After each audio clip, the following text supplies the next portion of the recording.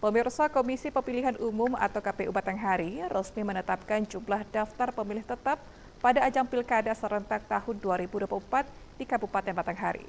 Penetapan tersebut telah dilakukan pada 19 September tahun 2024.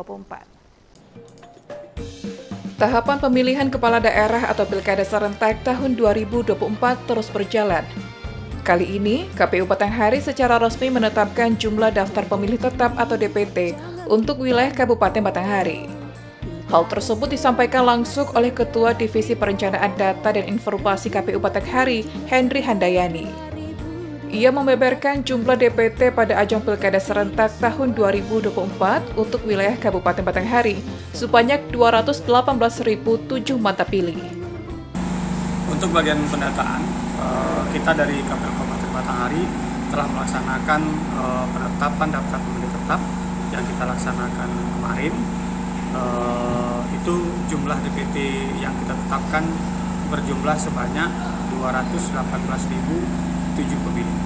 Uh. Jadi sebelum tahapan DPT ini ditetapkan, ini kan ada namanya uh, daftar pemilih sementara. Di daftar pemilih sementara ini sebelumnya pada tanggal uh, 18 hingga tanggal 27 Agustus sudah kita umumkan. Ya, jadi kalau kita bandingkan dengan jumlah DPS yang kita umumkan yaitu sebanyak 218.419.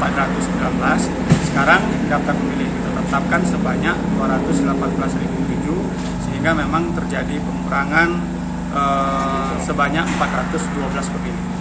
Jika dibandingkan dengan daftar pemilih pemilu tahun 2024 yang mana memang eh, DPT pada pemilu itu untuk Kabupaten Batanghari berjumlah 222.203 ya. Kalau dibandingkan dengan yang sekarang ini ada perbedaan dan pengurangan sebanyak 4.196 pemilih. Jadi KPU Kabupaten Batanghari ya setelah melakukan uh, pleno penetapan DPT ini ya tanggal 22 nanti akan dilakukan pleno penetapan atau rekapitulasi di tingkat dan juga di tanggal 22 itu nanti eh, DPT ini akan diumumkan uh, di seluruh TPS yang terdapat di Kabupaten Batanghari. Itu dari tanggal 22 hingga tanggal 27 September ini. Diketahui, Kabupaten Batanghari memiliki TPS sejumlah 539 TPS dan satu TPS khusus yang terletak di lapas kelas 2B Morapulian.